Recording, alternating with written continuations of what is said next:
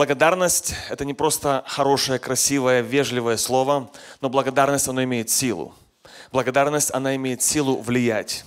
Благодарность, она влияет и в духовном мире, и благодарность, она также влияет на уровне человеческом здесь, на земле. Я знаю, что мы сегодня живем в очень такой, кажется, не знаю, как это назвать, crazy year. Такой год очень необычный. И кажется, что в это время столько есть разных причин, чтобы не быть благодарным. Но я сегодня как раз хочу говорить о благодарности. Я, исследуя эту тему, прочитал один, э, одно исследование. Это интересно, что это не христианские источники, это просто светские ученые, которые сделали такую, э, такое исследование. И они доказывают, что когда человек уделяет 5 минут в день для того, чтобы записывать свой дневник, за что он благодарен кому-то, естественно, это они не имеют в виду Бога, просто выражают, находят причину для благодарности, то они становятся на 17% счастливее. Я не знаю, как они вычислили эту цифру, откуда такое счастье добавилось на 17%. Я думаю, что вам всем хочется, ну, хотя бы на 17% быть счастливее, правильно? И интересно то, что сегодня очень популярная болезнь, очень популярная, это называется депрессия. А, каждый ее по-разному реаги... называет, кто-то называет ее болезнью, кто-то называет просто приступом, кто-то еще по-другому называет. Но интересно то, что люди, которые проходят вот эти подобные такие переживание или такое а, негативное, негативное духовное настроение, то если им предложить такой метод, ну хотя бы пять минут в день находи, кого благодарить, а для верующих это особенно важно, благодарить Бога, я думаю, что вряд ли они согласятся этим заниматься. Кто из вас уже готов покупать блокнотик, писать и делать эти все вещи? Всем нам кажется, что это все как бы ерунда, мы и так как бы благодарны, мы и так как бы счастливы. Интересно, что трудно помочь людям до тех пор, пока они не согласятся с тем, что действительно им нужна в этом вопросе помощь. Хотя от счастья никто не откажется. Если бы я назвал свою проповедь сегодня «Как быть счастливым», я думаю, были бы, наверное, сотни тысяч просмотров, потому что все хотят хотя бы на 17% быть более счастливыми. Но интересно то, что, друзья, именно благодарность на основании Писания, не просто на основании мнения, не просто даже на основании вот этих ученых, которые даже в Бога не верят, я верю, что она влияет на людей и делает нас более мирными, более радостными и более счастливыми. Благодарность, как это связано с счастьем, один человек сказал так. Существует круговорот добра. И благодарность – это возврат добра, пусть даже в словах. Добру все равно, в какой корзине его носят – денежной, продуктовой или словесной. Таким образом, добро нас связывает и дает возможность получить счастье – а главное, иметь часть с Богом. Это и, наивы, это и есть наивысшее счастье. Друзья, 2 Тимофея, 3 глава, с 1 стиха написано о ужасных временах, которые грядут на землю. И там написано так. «Знай же, что в последние дни наступят времена тяжкие, ибо люди будут самолюбивы, то есть эгоисты, сребролюбивы, будут любить деньги, горды, надменны, злоречивы, родителям непокорны, неблагодарны. Интересно, что это предупреждение, оно не очень приятно, оно не очень хочется в него верить, не очень хочется слышать, хочется сказать что-то не о нас. Первое, хочу выделить, что это говорится о будущем, что настанет время. Это говорится о будущем, говорится о последнем времени. Как вам кажется, мы живем в последнее время с вами или нет? Кому это относится? И здесь Писание подчеркивает, что беда или ужас, тяжкое время придет не потому, что будет голод, и не только потому, что возможна война, а из-за того, что люди станут другими. Люди станут вот такими. И в этом ужасном списке перечисляется одно такое слово, которое кажется, ну в чем ужас? Чем проблема? В чем вот эта тяжесть этих времен, когда люди станут неблагодарны? Но об этом уже говорит Библия, значит, об этом уже стоит более внимательно слушать, верить.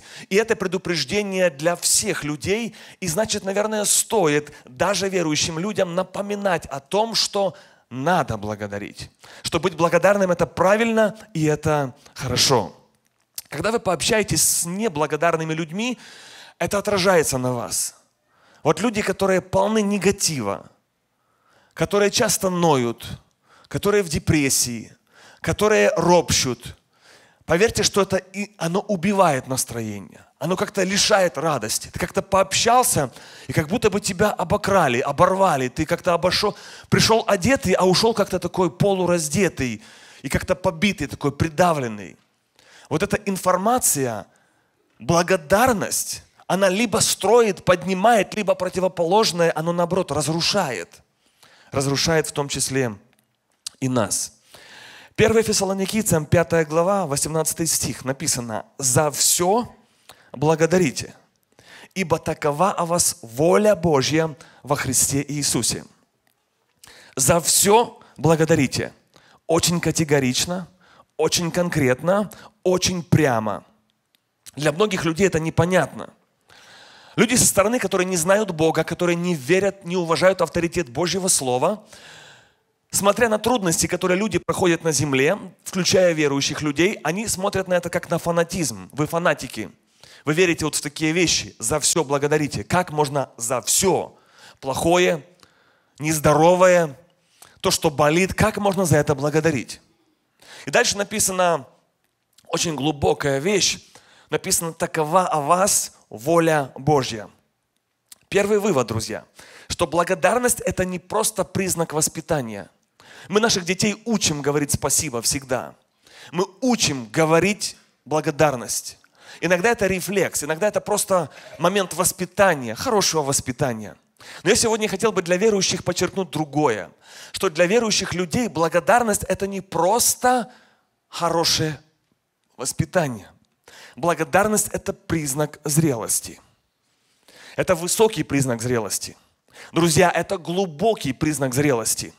Я хочу подчеркнуть то, что не просто благодарит за хорошее, за дом, за машину, за здоровье. За это благодарят все верующие и неверующие, даже те, которые не читали этого и не знают то, что в Библии об этом написано. Но когда благодарят люди за все, за плохое, за то, что болит, за то, что понятно и за то, что непонятно, когда люди за это благодарят, вот это признак зрелости, признак духовности. Я думаю, что вы согласитесь с тем, что зрелые духовно люди, они как-то, как будто они на другой планете. Они благодарят за то, что нормальный человек, у него не повернется язык благодарить.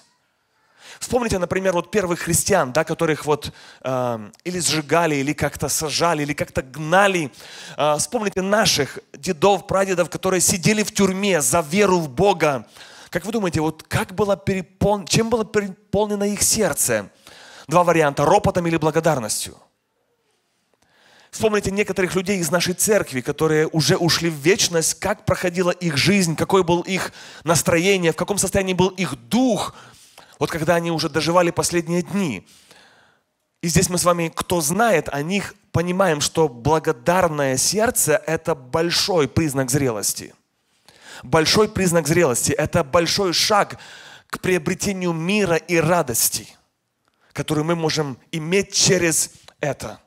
Заметьте, что ропот и благодарность несовместимы.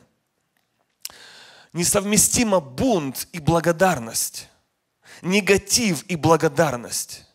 Поэтому, друзья, вот эти все процессы, например, за Иосифа написано, что его душа вошла в железо.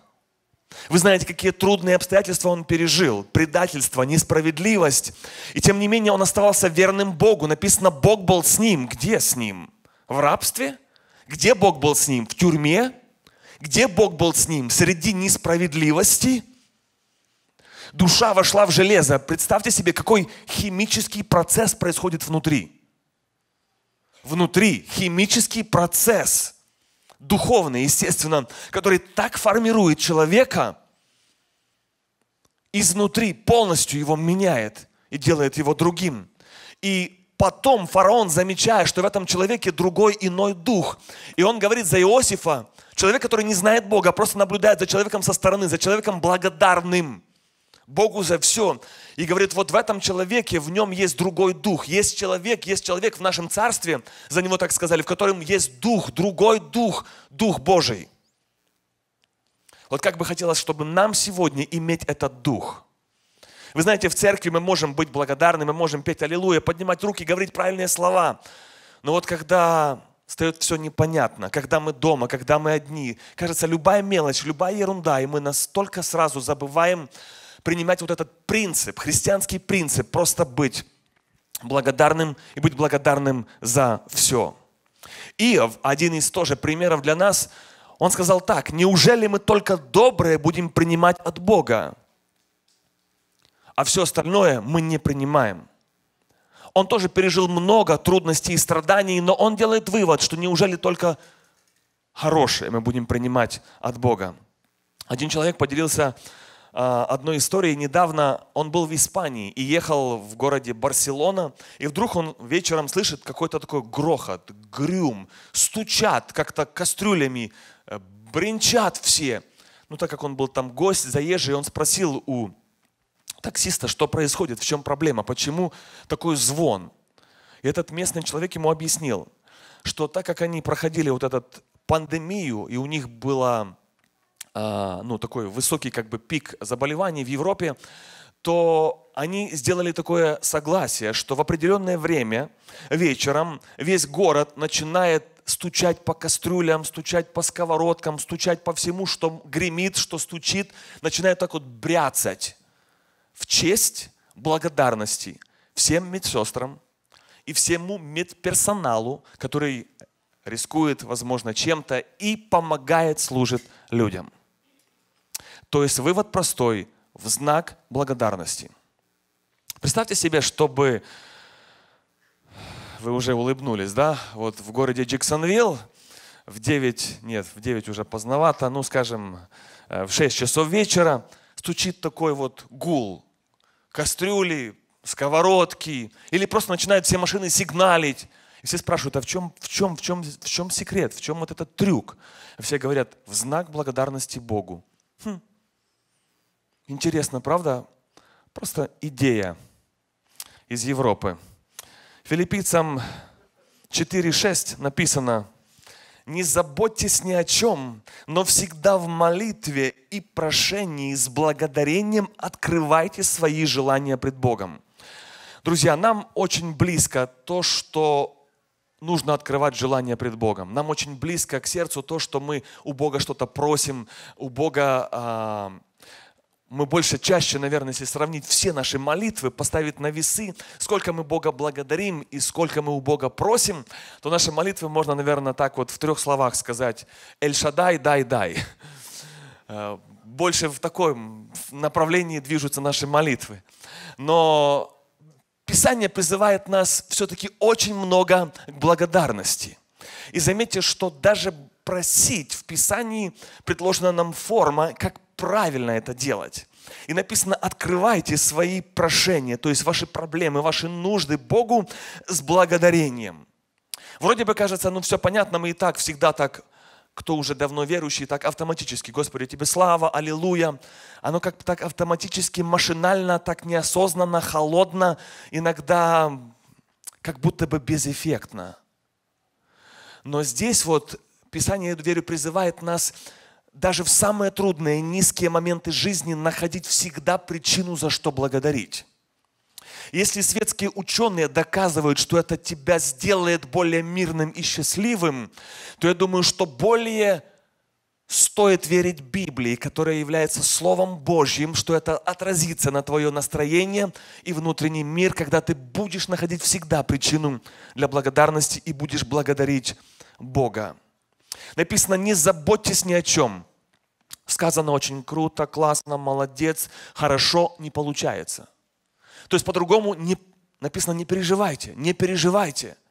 Do, don't be, do not be anxious, do not worry. По-английски написано, не переживайте. И все готовы не переживать. Кто за то, чтобы не переживать? Лес рук.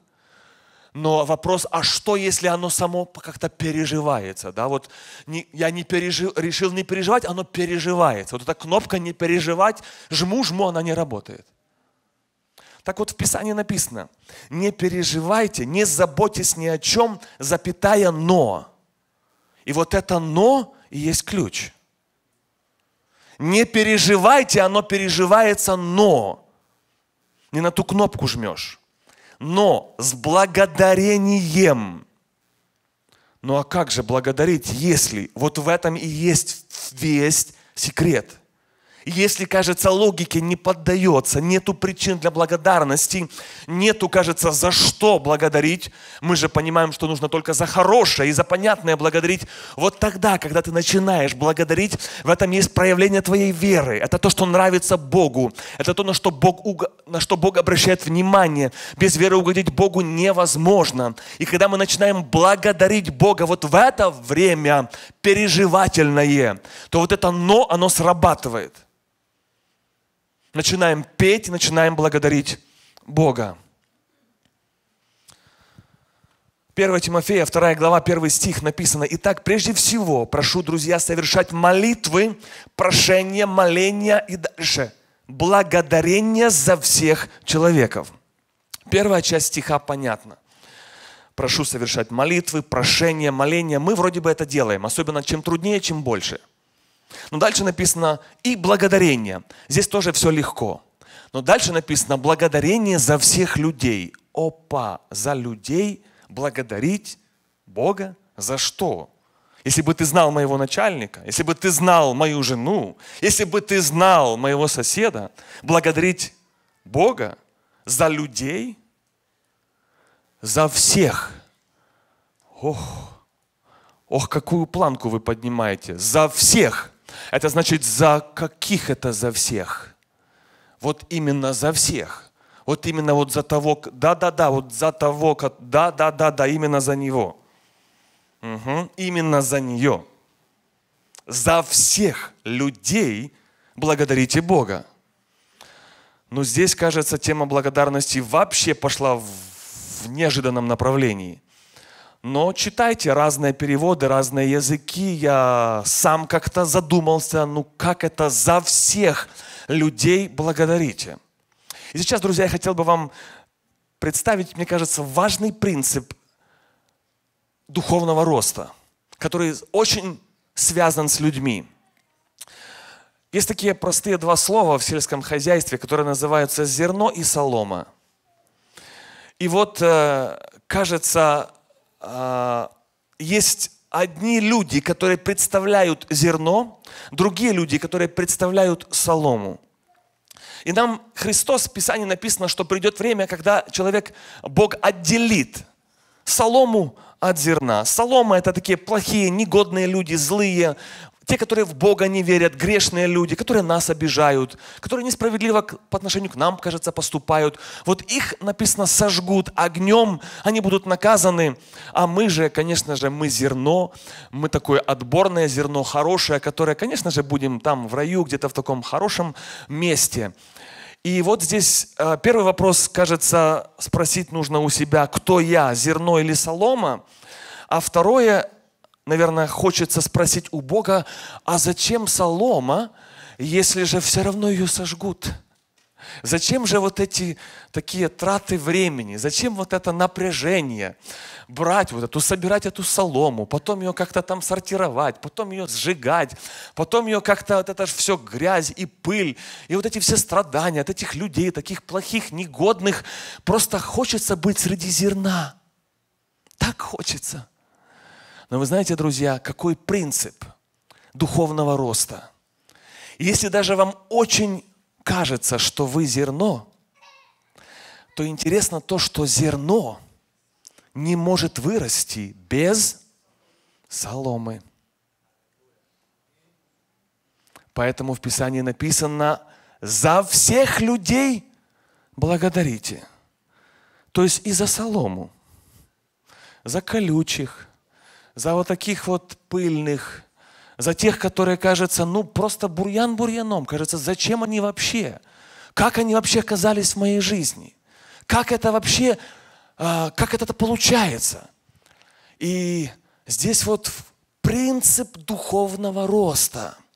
до определенного времени мы все находимся на одном огороде, в одной церкви, в одном городе, на одной земле. И там есть и зерно, и солома, и мы все как-то растем, нас поливают, как-то и, и штормы бывают, и ветры бывают. Все оно растет, погода меняется, температура меняется.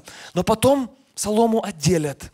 Но эта солома сопутствует вашему, нашему духовному росту. Эти люди, они нас иногда напрягают, накаляют, иногда нас обижают. Вот эта солома, которая помогает тебе в итоге стать зерном.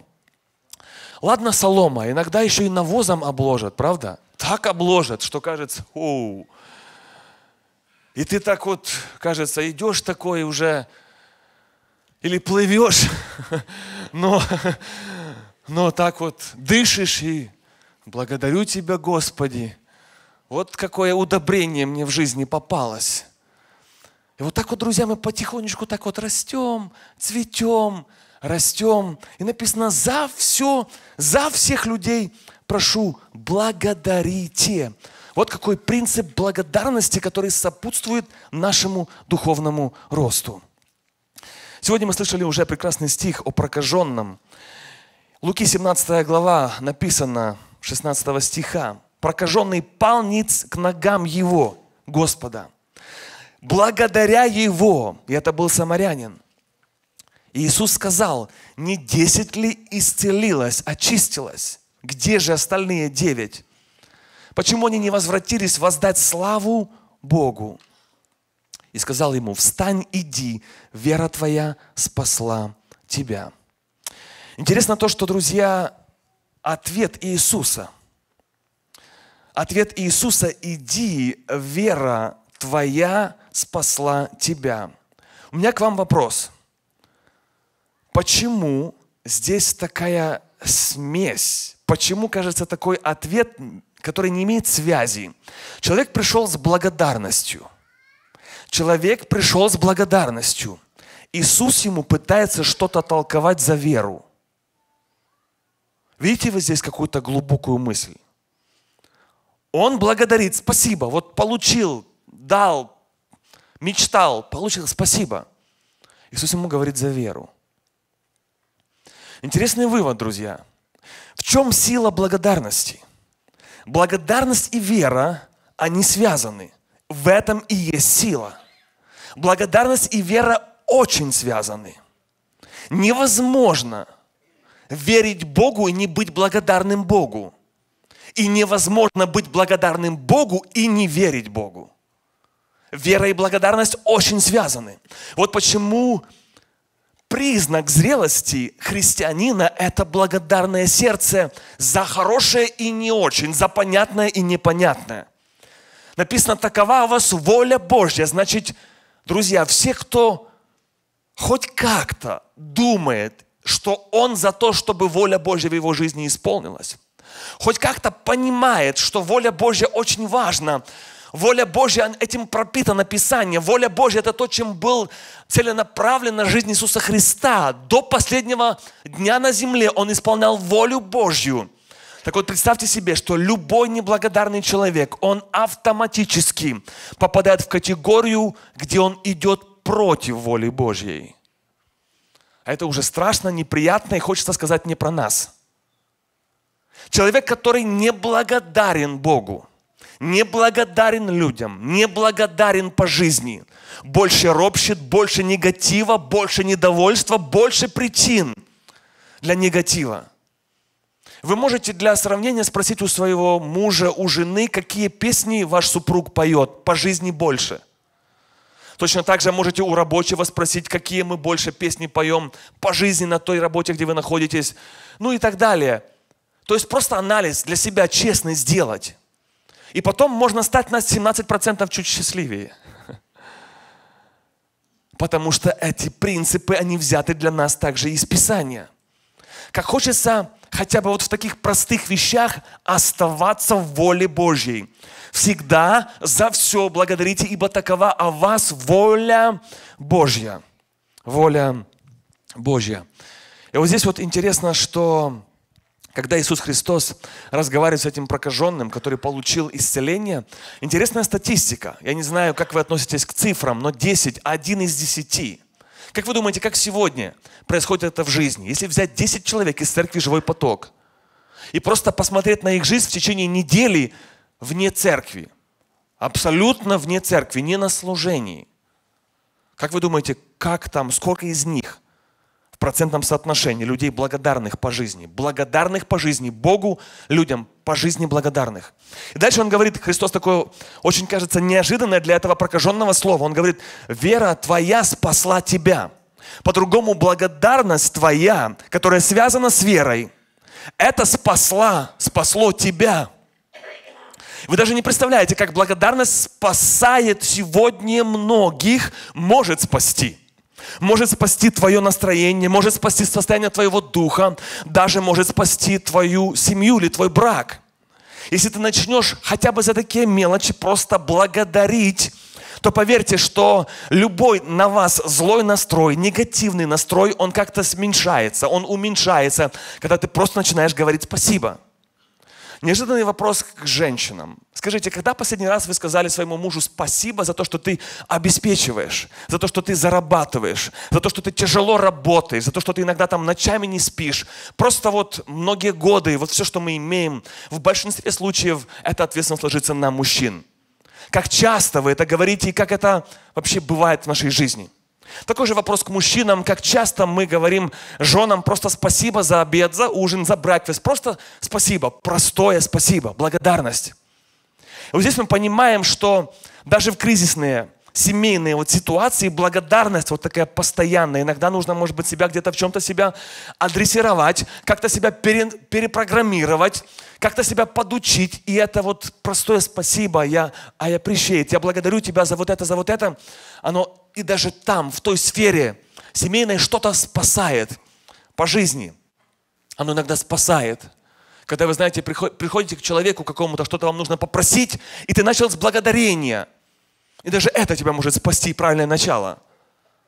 Потому что так написано в Писании. Открывайте свои желания с благодарением. Это работает и на уровне людей, и по отношению к Богу. Дальше, друзья, хотел прочитать вам, как благодарение иногда решает проблемы, как иногда наша вот этот подход благодарности к Богу, как иногда это влияет на наши нужды и разрешает их.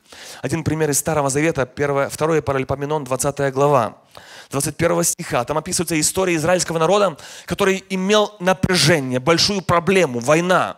Это значит, могут быть жертвы, убитые, все, все это самое, кажется, страшное на земле. И вот они принимают решение. Это израильский народ, который знал Бога. И вот кто-то принимает решение очень уникальный подход. И они ставят впереди армии людей, которые начинают просто петь Богу, славить Бога и выражать благодарность Творцу, то есть Богу. И вот там написано, что они пошли, они их поставили впереди армии, чтобы они благо чтобы они пели, славословили и говорили, говорили «Славьте Господа». И в то время, как они шли, еще проблема не решена, и пели, в то время Господь возбудил несогласие между врагами, аманитянами и мавитянами. И они были поражены. Смотрите, какой результат из Старого Завета. Они ничего не сделали, кроме благодарности. Кроме того, что они выражали, выражали славословие и благодарность Богу против логики. Против, кажется, парадоксальный пример – но это люди, которые знали Бога, и они избрали именно такой метод. Я верю, что для нас сегодня это может быть пример, как иногда наше вот это благодарное сердце, которое связано с нашей верой, оно может влиять на решение наших вопросов. Теперь пример из Нового Завета. Иоанна 6 глава, с 10 стиха там описывается история, когда тоже была проблема. Иисус Христос среди народа в пустыне, и у них чего-то не хватало – у вас в жизни есть, чего вам не хватает, вот катастрофически не хватает, что-то надо, хочется, чтобы это все исправилось, что-то в вашей ситуации. И вот там два человека, два подхода к жизни. Один подход к жизни называется Филипп, второй подход к жизни называется Андрей. Здесь, я верю, есть пару Андреев в зале. Смотрите, Филипп и Андрей подходят к Иисусу и два взгляда на проблему – Иисус говорит, вам нужно народ накормить, нужно решить проблему. Народ голодный. Бытовые наши близкие нам проблемы. Нужно народ накормить. Андрей, простите, Филипп говорит, это почти невозможно. Как ты хочешь, чтобы мы это сделали? Как эту проблему можно решить? У нас вот этого, вот этого нету. У нас всего там 200 динариев. Что ты хочешь, чтобы мы сделали? На чем он сфокусирован? На негативном. Сфокусирован на том, чего нету сфокусирован на том, как мы не можем решить проблему. Но слава Богу за Андрея. Андрей, почитайте дома, это Иоанна 6 глава, интересно. Андрей говорит, так у нас есть пять хлебов и две рыбки. Ну ты, Андрюха, решил проблему, да? Пять хлебов и две рыбки. Но здесь вопрос не в том, что у них есть мало. Вопрос не в том, что как бы у них вот э, такой мизер, такой кажется, ну ты, как, ты, вообще, ну ты в своем уме. Вопрос в подходе, не в цифрах, а в, нас, в, а, в состоянии духа. Филиппчики, они сфокусированы на том, чего нету. Как все плохо, как все нехорошо, как у нас не получается. Причины для разочарования, причины для депрессии, причины для грусти. Но есть Андреи, которые смотрят на жизнь по-другому. Люди другого духа. Они смотрят на то, что есть, и находят, за что можно благодарить. И они фокусируются именно на этом. И простой вопрос сегодня к вам. Независимо, кто ваше имя по паспорту, я хочу узнать, кто вы по духу. Филипп или Андрей? По жизни, по духу. То есть есть паспорт, там, где имя такое физическое, а есть другое имя внутри, в духе. И можно сказать сегодня скромно, Господи, я Филипп. Хочу быть Андреем. Вот так, друзья, мы можем менять подходы к жизни. Но дальше, друзья, смотрите, какой идет подход Иисуса Христа. Значит, у них проблема, Иисус начинает молиться. И смотрите, как написано, Иоанна 6:10. Возлегло людей числом около пяти тысяч. Иисус взял хлебы, воздав благодарение, раздал ученикам, и все наелись, и даже осталось. Смотрите внимательно за процессом. Была нужда. Ну, пять тысяч накормить, вы согласны даже, что и Костку в один раз ездить не поможет, да, чтобы пять тысяч накормить? Нужда была, ну, такая, ну, серьезная, согласны, да? Потом второй этап была молитва. И третий этап было чудо, большое решение проблемы и нужды. У меня к вам важный вопрос. Обратите внимание на молитву. Какой была молитва? Она у вас на экране. Иисус, взяв хлебы, помолился очень коротко, очень правильно – очень умышленно, воздав благодарение, казалось бы, если бы просил, Господи, дай, Господи, помоги, Господи, реши, в этом тоже нет греха. Но почему-то для нас на страницах Священного Писания оставлены эти примеры молитв. Когда мы с нуждой сталкиваемся, реальной проблемой земной, он почему-то выбирает тактику, методику благодарить. И после простой благодарности решение проблем. Благодарность связана с верой. Вера связана с благодарностью. А благодарность имеет силу. Имеет силу влиять и решать даже наши нужды. Следующий, вопрос, следующий пример из Нового Завета. Иоанна 11 глава. Это уже другой случай. Еще один пример из жизни. 41 стих. Умер человек. Кажется, хуже горя вроде бы нет на земле. И так отняли камень от пещеры, где лежал умерший Лазарь. И Иисус же возвел очи к небу, сказал, «Отче, благодарю Тебя, что Ты услышал меня». Потом Он позвал, и вы знаете, что умерший воскрес, исцелился. Снова быстрый анализ. Была нужда, нужда еще больше, еще хуже. Проблема, кажется, хуже не бывает. Потом была молитва, второй этап. Третий этап – большое чудо, большая победа, праздник, решение проблем. Снова обратите внимание на молитву. Какой была молитва? Она снова на экране. Молитва была очень короткой, очень умышленной, очень правильной. Молитва была, Господи, благодарю Тебя. И решились вопросы. Как часто мы, как христиане, используем эту методику? Было ли когда-либо в вашей жизни, что вы пришли, стали на колени, и у вас просто вот слов нет? Больше дышите, чем говорите. Во время молитвы текут слезы. И здесь так неожиданно пробивается благодарность Богу. Вы даже не представляете, какой вес эта молитва имеет в духовном мире. Вот почему ее даже трудно представить, и, возможно, никогда она и не случалась в нашей жизни на земле, потому что это что-то выше, чем земное. Но когда мы так подходим к Богу, ведь написано, все равно Бог знает все, даже волосы наши на голове, все под контролем, посчитано. Да, мы имеем право просить, но когда мы с таким подходом приходим к Богу, вот благодарность и вера, и благодарность имеет силу. Заметьте, друзья, вопрос, сколько вы думаете, Иисус Христос раз молился на земле?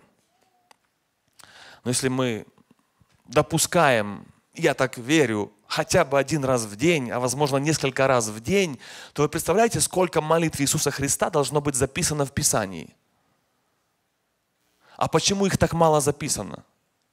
Кроме молитвы «Отче наш», какие вы еще знаете молитвы Господа? Вы понимаете, что их очень мало, очень мало записано, а он же сколько раз молился. А следующий вопрос, а почему именно вот эти молитвы попали туда, как пример для нас? Какую силу и влияние имеет благодарность?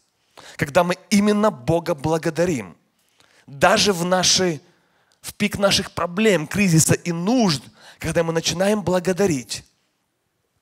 Еще одна из молитв Иисуса Христа, вы помните, одна из его последних, это «Да будет воля Твоя». Вы замечаете снова связь? «За все благодарите, ибо такова вас воля Божья, и да будет воля Твоя, не моя Божия».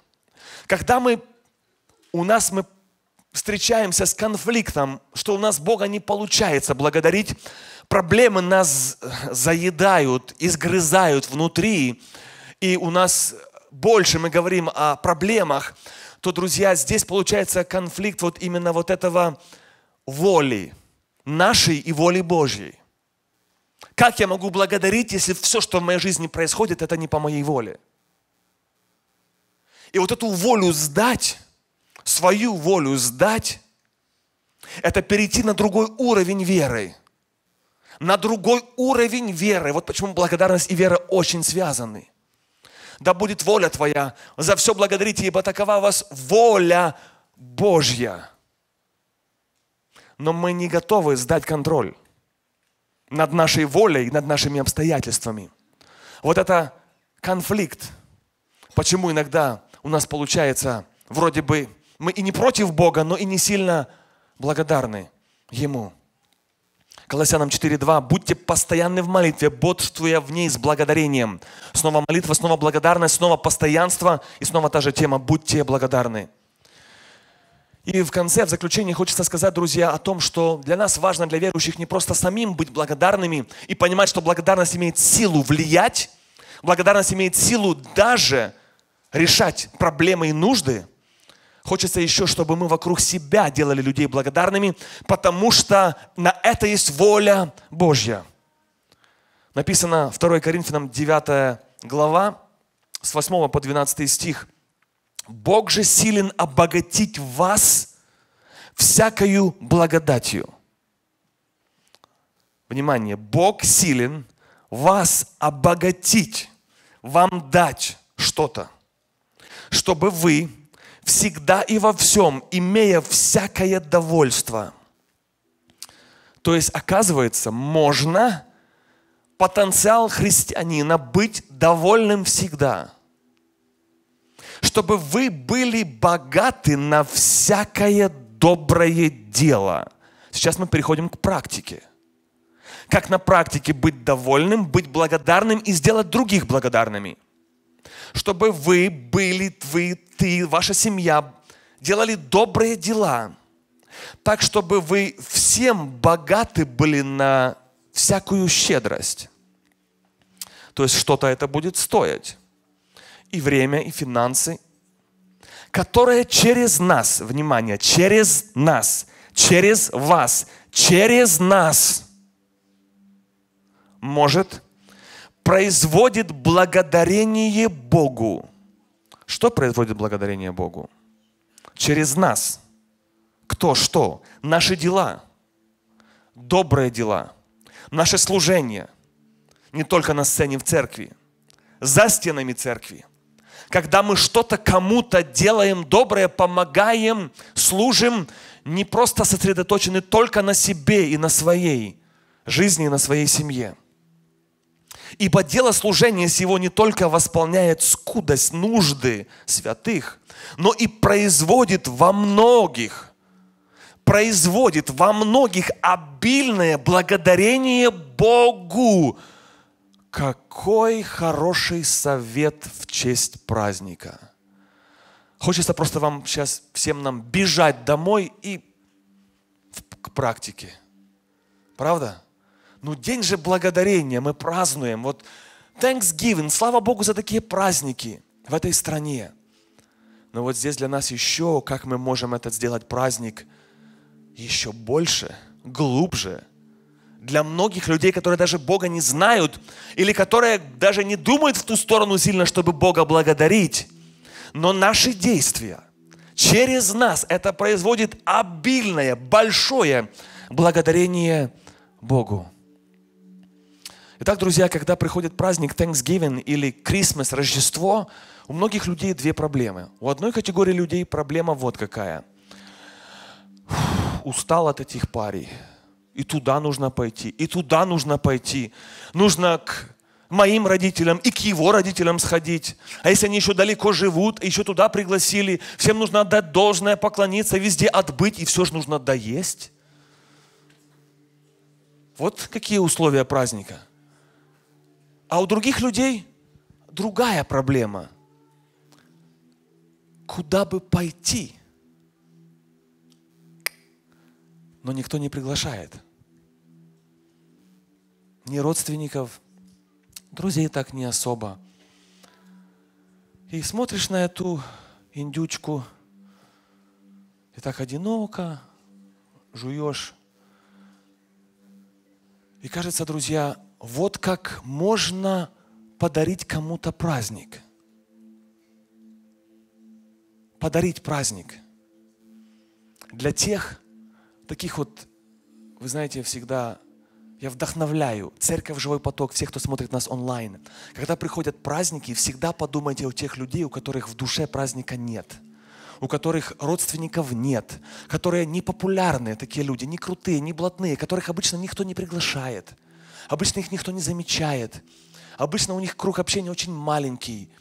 Вот их попробуйте пригласить, подарок дать, что-то завести, чем-то угостить, как-то разделить, подарить им праздник, ибо это дело служения сего производит во многих обильную благодарность Богу. Поэтому, друзья, действуйте, приглашайте, служите – да, и сегодня я знаю, что время такое кажется необычное. Спросите, все, все дезинфицируйте, все, что надо, поставьте там. Но все равно служите. Служите людям. Не забывайте, в этом наше призвание. А, одна сестра в нашей церкви, у нее был день рождения. И приготовили там обед семейный, все как бы так, э, хорошо, празднуют вроде с семьей. И вдруг э, Таня позвонила одной сестре, которая болела или, не помню, там детали где-то была, встретилась, и увидела, что один из, один из э, ту сестру, которую она увидела, она просто очень плохо себя чувствует физически. И она сразу же ее в госпиталь, в emergency отвозит и проводит там 5 часов или сколько в emergency в госпитале в день своего дня рождения. А дома там семья уже накрыла стол, уже там ждут, уже все там свечи, все красиво, шикарно. Как вы думаете, как реагировать в таких ситуациях? И потом комментарий, который э, я слышу вот сегодня для нее это был настоящий праздник. Она и добро сделала, милосердием позанималась, и побыла утром с семьей. Вот я думаю, вот это сущность христианства. Когда мы не только для себя живем, а когда мы получаем вот это внутреннее удовлетворение, когда мы другим делаем добро, и в день рождения, и в праздник, когда мы не просто закрываемся, я сам, это мое, это моя семья, будь сам, будь со своей семьей, я тоже буду, но помни, что выходных у тебя будет минимум четыре. Поэтому о других не забывай. Вот как ты можешь дарить праздник другим людям. Не хочешь сближаться, есть другие методы, как ты можешь подарить праздник – Главное, служи. Служи людям. Друзья, последний стих, Римлянам, 1 глава, 21, 21 стих. Написано, но, «Ну, как они, познав Бога, не прославили Его, как Бога, не возблагодарили, но осуетились в умствованиях своих, омрачилось несмысленное их сердце. Внимание, они, познав Бога, это к кому обращение? Верю это к нам, к верующим, к тем, которые Бога уже познали, узнали Бога. Не против Бога. Но дальше не прославили Его. Я не говорю такое автоматически, там, аллилуйя, там, слава Богу. Я не за, я за, не, за, не, за, не за механизмы говорю, я говорю за сердце. Не прославили Его как Бога. И не возблагодарили. И дальше причина – дальше описывается такая спираль, как человек качется вниз. Написано, но осуетились. Суета, бизнес, работа, земные вещи, причины. И дальше пришел мрак в сердце. Омрачилось их сердце. Вот то, что ожидает неблагодарных людей. Темно. Везде темно. Вот почему благодарить трудно. Потому что темно в глазах, темно везде, темно. Нету света осуетились.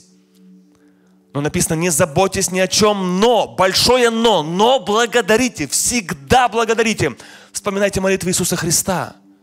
Воздал благодарение. И какую силу и влияние имеет молитва благодарности. Я призываю вас, друзья, сегодня, всем, кому тяжело, всем, кому трудно, кому больно, кому непонятно, именно эту методику применять. В духовном мире это имеет влияние, силу, это работает, это принесет вам мир и радость. Начинайте благодарить людей, начинайте благодарить Бога. В этом есть сила, и в этом есть воля Божья. Ему слава за все. Аминь.